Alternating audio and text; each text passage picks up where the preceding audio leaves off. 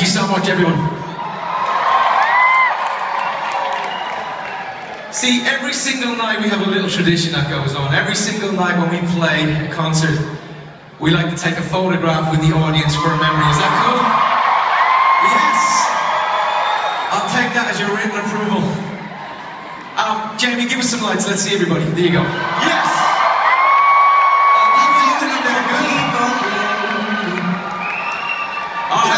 Sexy people, huh? Friday night. I got wings and everything. Look at this shit. Trent. So, you know, technology has moved on and photographs now move. They're not fucking still anymore. So, uh, Danny's gonna tell you what to do right here. All right.